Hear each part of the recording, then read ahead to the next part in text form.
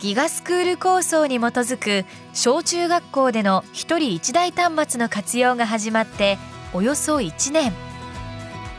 端末を活用した子どもの新しい学びに注力する各学校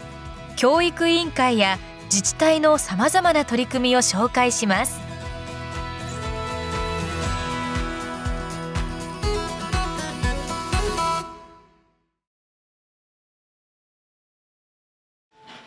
高校2年日本史。戦後の政治史を学ぶ授業です。教えるのは岩手正弘先生。授業の始めは復習問題の小テストです。配られたのは問題だけが書かれたプリントです。生徒たちが答えを書くのは Google フォームに作られた回答用紙です。答えは選択式。入力が済むとすぐに答え合わせをします。このフォームでは生徒自身が正解したかどうかを確認できるだけでなく問題ごとに正解率や正解者の人数がすぐにグラフ化されるので先生は生徒の弱点を即座に把握して授業に生かすことができるのです。そしてこの日の課題です。55年体制が形成されるまでの政党の動きを教科書から読み取り情報を図式化してまとめます。左派があったら右派も入れてあと特徴も主張の特徴も入れてください。分裂して使うのは班で共有する白紙の Google ジャムボードです半端じゃから認めないっていう感じ。これ書いた方がいいんじゃない？そうだね。こっちの方が前に書いた方がいい。生徒たちは教科書や授業プリントから情報を収集してディスカッションしながら整理分析をしていきます。ただ時系列で整理するのではなく歴史上の人物の主張と絡めてまとめることで時代の流れを構造的に理解することができるのです。どちらかというと私は前はやはりあのチョークと黒板であの話でっていう授業が多かったんですけれどもやはり生徒の方で、えー、やはり座学で黙ってるっていうのは生徒たちちょっときついかなっていうのがやっていく中でこう感じましたので一人一台があ来たことでこれもっとグループで意見交換できるしあの自分たちで作ってそれを発表してとかっていうふうなあのアウトプットの場面もだいぶ増えたので。えー、活動的な授業になったんじゃないかなとは思ってます授業を受けた生徒は？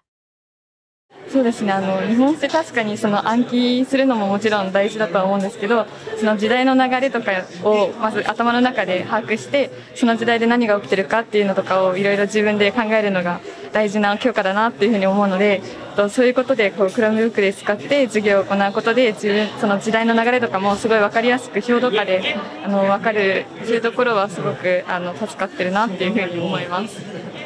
お互いの考えを共有できるのであこういう考えから歴史を見たらあ確かにこうなるなとかもっと歴史に興味が湧いてきてまた考えよう考えようってなっていくのがいいところだと思います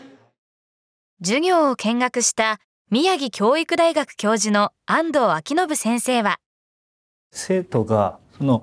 書いてることをまずは自分で理解をしてそしてその理解を友達同士でアウトプットしてそして今度それを収束して整理するっていう過程をすごくこう楽しそうにやってるなと思いましたね。でこれはあの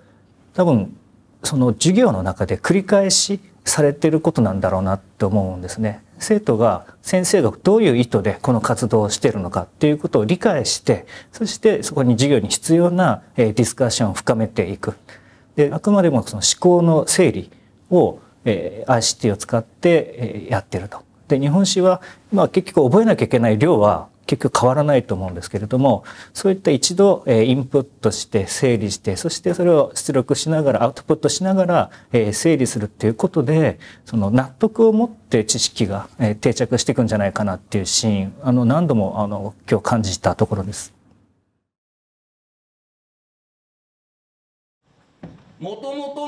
数学2の授業です。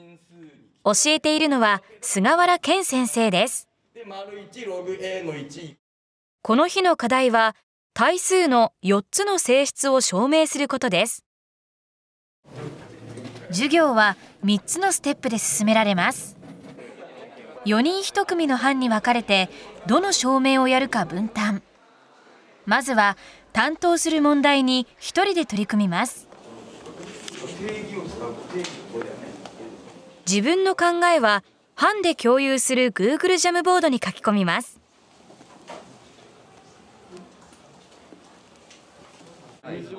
それが終わると今度は同じ証明問題を担当する人がグループになります。自分の答えを共有して仲間にプレゼンテーションしたり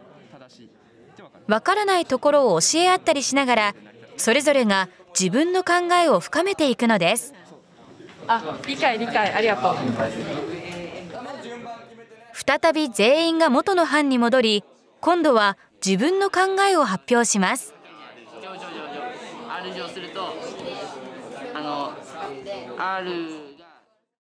この授業を受けた生徒は自分でいろんなことが考えながらその証明とか書いたりできるので記憶に定着しやすいっていうのが一番ありますこの共同的学習を支えているのが菅原先生が作る予習動画です。自分が考えてる問題議論してる問題においてあ定がこれだったら都合がいいなっていうね。そうですね。授業の中で先生がこう説明して受け身の授業だけでその時間が終わってしまうとどうしてもその後の勉強とかが大変になるので、えっと、予習を事前に自分でやって分かんないところを作るでそれを授業で先生に質問したりして解決するっていうのができるのでそういいいと思います。この動画は授業中に見ることもできるので一人で問題に取り組む時の助けにもなります。えー、いわゆる授業の前に今日の授業の要点となる部分をもう少し理解をして授業に参加してくれるとその知識を得るという時間は最小限でその自分がちょっと不安だなとか苦手だなというところは授業の中で確かめるという時間になってそしてえこうアウトプットするとか考えるというそこに時間を避けるんですよね。そのただのこう聞いて板書を移してえー、確かに分かった感じにはなるかもしれないっていう授業に対して、えー、きちんと自分がどこまで分かってるのか今日何が学べたかのかということがすごく、えー、捉えやすいそういう授業になると思いますね。仙台三高では大学と連携した ICT 活用も進められています例えばこの英語のプレゼンテーション留学生と Google Meet でつながり英語表現など直接指導を受けます。またガス Google のアプリケーションソフトを簡単にコントロールできるプログラミング言語の授業も始まりました。大学の先生と遠隔でつながりこれからの社会で必要とされるプログラミング能力を育む授業です。このような ICT 活用は先生たちにどのように浸透していったのでしょうか？校長先生に伺いました。あの結局ワクワク感とかドキドキ感じゃないでしょうか。先生方があこれ楽しいよねとかじゃあこういうふうなことやったらなんか生徒も自分も楽しいよね。同じ例えば大変さであっても新しいことをやるチャレンジであったりとか、うん、このような、うん、と仕立てを使ってえー、外とつながる楽しさであるとかそれを生徒が使いこなしている楽しさっていうふうなのはあるんじゃないでしょうか。あとは校舎が全部ガラス張りですので隣のクラスでどんなことやってるのかなって覗いてあなんか面白そうだから自分も真似してみよう。じゃあその時にそのやっていた先生が手伝うとかそのような形で広まっていったんだと思います。忙しく教室に向かうのは家庭科の伊藤福子先生です。伊藤先生は ICT 活用を推進するチームのリーダーでもあります。まあ、私は本当にそのコンピューターとか情報が得意だったわけではないんですけれども先生の方はやっぱり得意じゃない先生の方が多いわけですからで私のように同じようなでできないけれどもあのやれることからやっていこう。ということを声かけすること同じレベルで声かけができたので、まあ、そこが良かったのかなとハードルを下げられて良かったのかなと思います。はい ICT 関連っていうのは機器にラベルを貼ったりとかもう設定とかあとはトラブル対応とかすごく細かくあってまたそのトラブル対応は特に時間がすごくかかったりもするんですねそれで先生方からこう時間関係なくその相談が寄せられるのででそれはやはり大変です。でもあの他の先生たちがどんどんこうスキルアップしてくるとかなり自己解決をしてくれるようになってきてるので前はずっとついてなきゃいけなかったオンライン会議とかももう自分たちでそれぞれもう皆さんしているので負担が減ってくるんだなということを実感しております。伊藤先生たちは先生一人一人のスキルを上げるために誰でも気軽に参加できる研修会を始めました。通称チョコ犬です毎回一つのテーマを決めて勉強していますこの日は Google サイトの便利な活用法です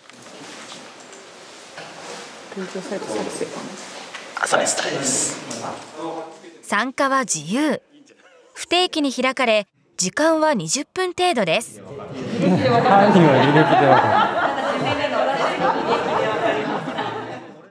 最後には Google サイトを授業で使っている先生の活用事例も紹介しました。講師を務めた草陽介先生です。いろんなこうあのことを研修で扱うといろんなことがこうできるようになってでこんなことができるよっていうのを他の先生から聞いたりとかそういったこう教え合いが研修以外の場でも結構できてきてますのでそういったところであの教科を超えてですかねあの紹介し合うっていうこう風土があのできたかなというふうには思ってます。まあ、あの職員全体としてこうあの研修会をやりますっていうよりかはあのちょっとの時間でも少しずつ回数を重ねて、まあ、あの一人一人がスクリスキルアップできるような、まあ、持続可能な手段っていうのが、まあ、あの大事なのかなというふうには思ってます。最後に東北大学大学院教授の堀田達也先生に伺いました大学入試というのはうちの大学が来てほしい人材はこういう人ですアドミッションポリシーっていうんですけどそういうそのために面接を重視しますとかいや学力は一定の学力が必要なのでちゃんと問いますとかこうポリシーがあるわけです取る側にも。でそれと自分の今やってることこだわってることを自分の好きなことがどのぐらいマッチしてるかっていう形で選んでいくようになってきてるわけですね。でそういう時代の入試はあの何かたくさんのことを知ってるかどうかよりも考える力がちゃんとあるかどうかとかこの人はこの一定の知識をどのように活用しようとする人なのかを試す入試に変わってきてると思うんですね。でこれはやっぱ大きな変わり目だと思うんですだから子どもたちに何か知識を徹底的に覚えさせるみたいなやり方ではもうこれからの入試は通用しなくなる自分で能動的に情報を取りに行き自分で整理し自分でアウトプットするということを繰り返した人しかこれからの入試は乗り越えられなくなるんじゃないかなと思います。